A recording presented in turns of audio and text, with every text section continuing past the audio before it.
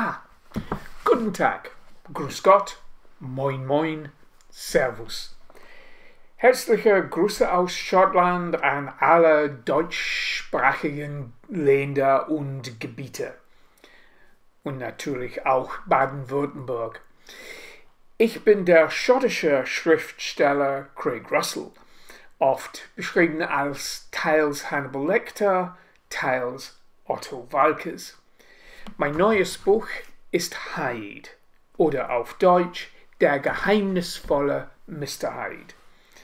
Äh, dieses Buch ist bereits mein größter Erfolg. Äh, die Filmrights äh, vor äh, Veröffentlichung hier in Großbritannien schon, schon in Hollywood gekauft wurden. Äh, also die Geschichte. Jeder kennt Jekyll und Hyde, aber hier haben wir Hyde ohne Jekyll. Mein Roman ist keine Nacherzählung von Jekyll und Hyde, sondern ein Form Origin Story.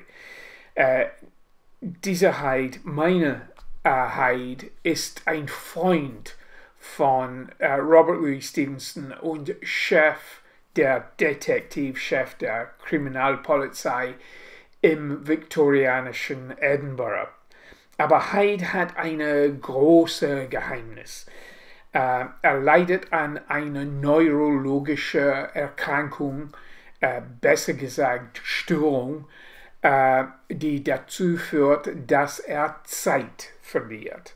Das, das heißt, er hat unerklärliche Amnesie-Episoden.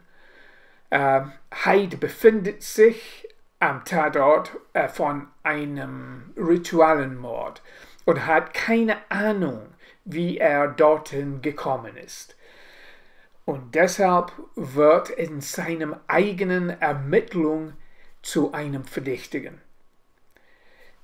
Äh, der geheimnisvolle Mr. Hyde ist eine dunkle und bedrohliche Gothic-Thriller, äh, voller antiker keltischer Mythologie, geheimer Rituale, äh, gespaltene äh, Persönlichkeiten und natürlich Mord. Ich hoffe, der geheimnisvolle Mr. Hyde ein großer Erfolg für Aufbau ist. Äh, wie wir nicht sagen in Schottland, ich drücke die Daumen. Tschüss.